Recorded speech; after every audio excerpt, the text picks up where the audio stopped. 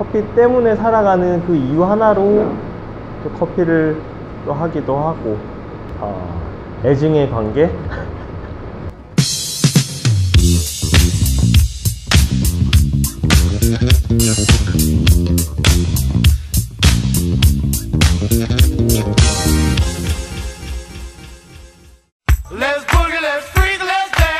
저는 박정환이고요. 14년차 바리스타 박정순이라고. 동생과 함께 형과 함께 지금 용인 수지에서 수지에서 스티치 커피 로스터스를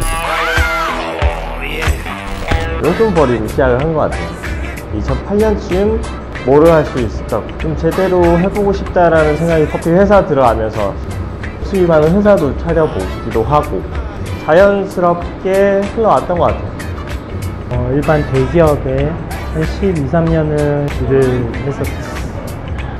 남자들은 보통 마음 되면은 생각이 많아지게 된다 그러더라고요. 내가 이때까지 공부를 해오고 접해왔던 분야에서 자연스럽게 흘러와서 그 일을 하게 됐었다면 내가 뭔가 좀 다른 일을 좀 해보고 싶다.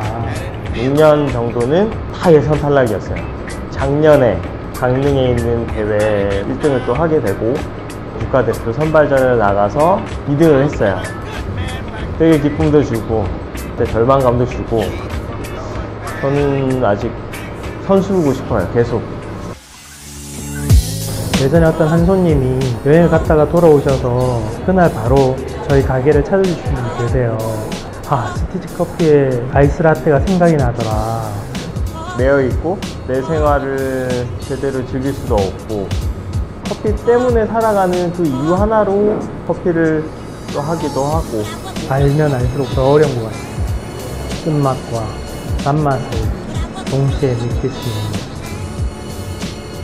제가 해외에 가서 매장 오픈한다 그러면 그때부터 다시 시작 다시 시작이지 않을까요 그게 정말 애증의 관계인 것 같아요